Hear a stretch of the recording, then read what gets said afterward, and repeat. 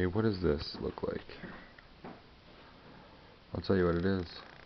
This is a 10 kilovolt transformer. Focus. Um, so this here is your line coming from the wall, which is 120 volts alternating current. This steps up that alternating current to 10 kilovolts of alternating current.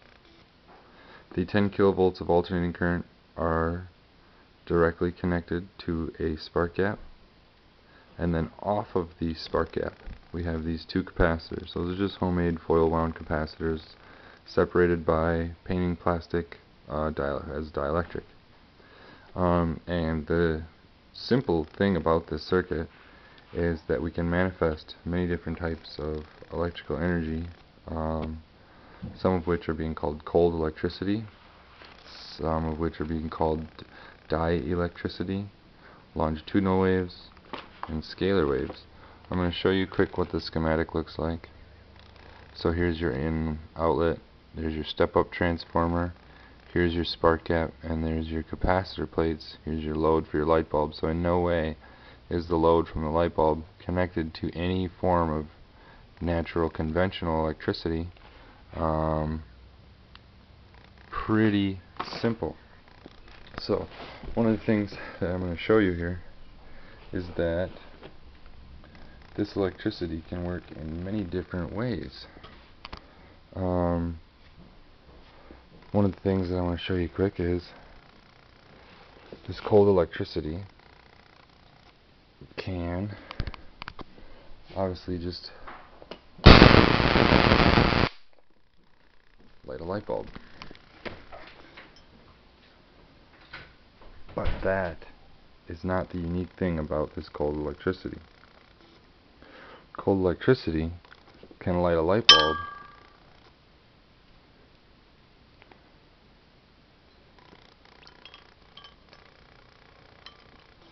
Now to anyone who looks at this, they would say, well, that doesn't make sense. This is just water straight from the tap. Nothing special about it. I'm going to dip those in there. So now the whole thing is submerged in water. What happens when I turn the cold electricity on?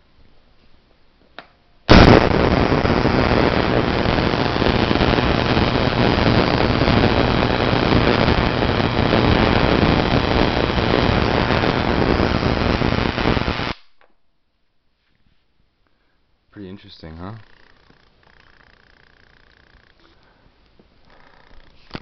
And say, okay, well that's just a fluorescent bulb. Fluorescent bulbs can be lit from anything, right? Sure, they can't. What's this? This is a filament bulb. It's an automotive filament bulb. It's 12 volts. Probably like 1 amp. Um, kind of strange there's not much to that, right? All the way in the water. That shouldn't light at all, right?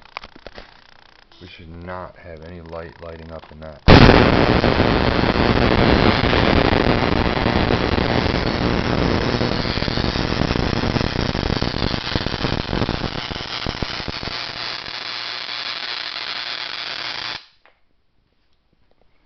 Um, let's see.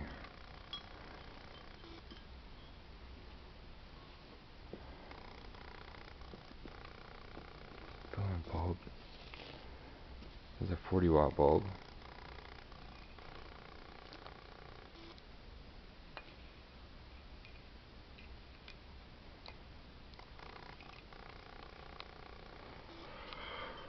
Forty watt bulb should not light up if it's dipped in water. Plus this 40 watt bulb will not light up if I plug it into oh this is 60 watt excuse me this is 60 watt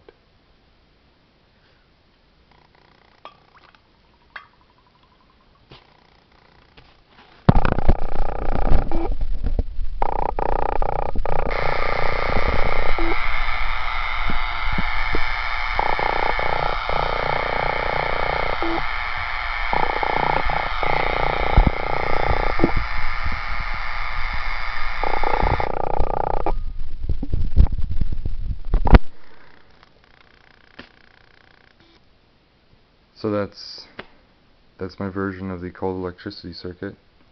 Um, as done by your very own.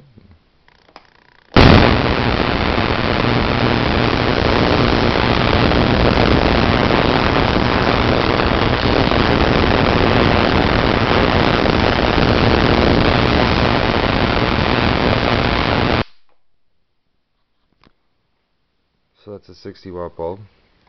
Ooh. Actually producing quite a bit of heat. That bulb's actually pretty warm. Um, the bulb is warm. This is just normal water. It should short the circuit out. The circuit doesn't short out. Because this is an unconventional type of electricity. This type of electricity is uh, can manifest itself in several different ways. This is my favorite one just because it doesn't really make any sense because the you can see the leads are obviously open.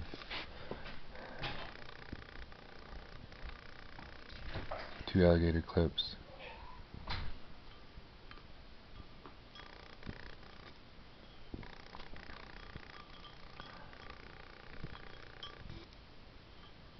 In the very bottom of that water